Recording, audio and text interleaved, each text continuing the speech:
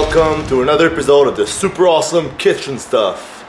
And today it's um, a recipe that's really simple. Some of you probably have done it before, but uh, I just want to show different options of it, and uh, it's pretty cool. For those who don't know it, you'll learn something cool today. It's the peanut butter and jelly sandwich hack. All right, so let me explain uh, how it works. It's really easy. for how it works, how to make it.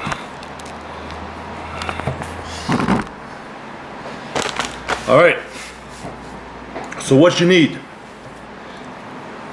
Dash Natural peanut butter and strawberries. And uh, there's two different versions of it. Well, three that I found. One with the one rice cake. What you will do is you take peanut butter, put it on the rice cake, like that and put the strawberries on it like this.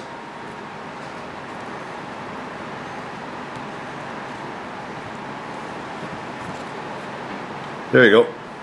It's very uh, kind of low in uh, carbs and calories for peanut butter and jelly uh, snack. So that's a very good option. If you have strawberries in your diet and peanut butter in your diet, you can easily make that and it fits your uh, your, your macros and it fits your um, your um, your food in your plan.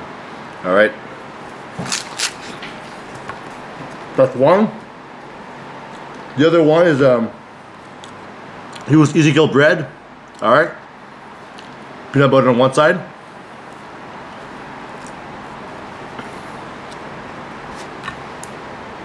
And if you want, um, instead of using um, chopped strawberries, you can just squish them up into this oops, into this um, thing here.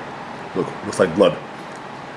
And uh, if it's not sweet enough for you, you can add a sweetener. Uh, added uh, xylitol into it a little bit. So uh, take the homemade jam, like that. There we go.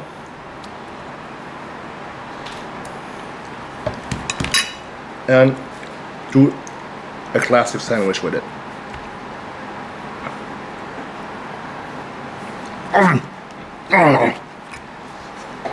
Alright. And the third option is um pretty cool. Take a baby rice cake.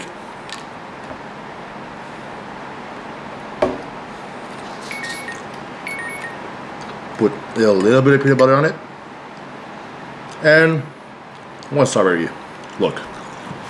It's pretty cool for a snack while you, you watch, a, watch a movie or whatever and I don't know, it's kind of cute. It's like a baby version of this.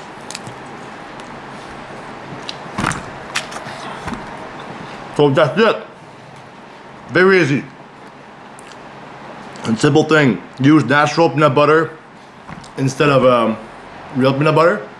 Well, instead of fake peanut butter, use natural peanut butter. And instead of the strawberry jam, just use strawberries. Chop them up or squeeze them up, smash them up, and just put them on a rice cake on a bread with your peanut butter. That's very simple, right? Probably one of the most simple uh, kitchen stuff video ever. So try it and tell me if you like it.